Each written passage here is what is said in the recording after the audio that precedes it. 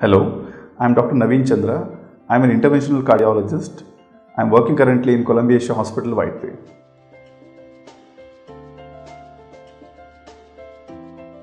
When you are treating heart failure, there are three important questions we have to answer.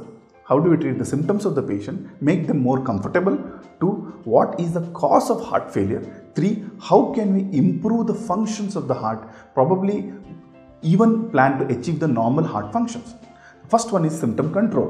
Now, symptom control can be achieved by mostly medications and certain lifestyle modi- modifications. Medications such as diuretics and other classes of medication helps in improving the patient's conditions. Also, lifestyle modifications such as salt restriction and fluid restriction also are very, very important for a symptom control. Second thing is to see why the heart failure has occurred on the first place. Although there are a number of reasons to cause heart failure, more than 95% of the times the heart failure are usually because of coronary artery disease. In simple terms, blocks inside the heart vessels. A angiogram usually will be required in such patients to see if there is any blocks and an angioplasty or a bypass to relieve these blocks are very very important because these procedures can help in improving the functions of the heart. And the third and the most important thing is we have to explore medications and certain procedures where we can improve the functions of the heart overall.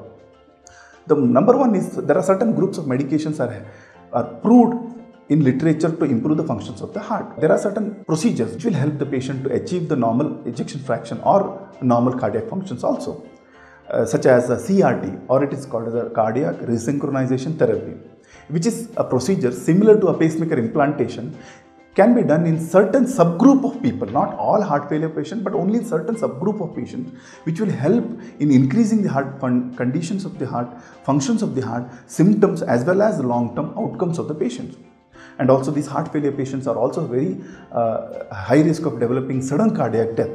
Sometimes an icd or a uh, defibrillator may be required to prevent sudden cardiac death in such patients.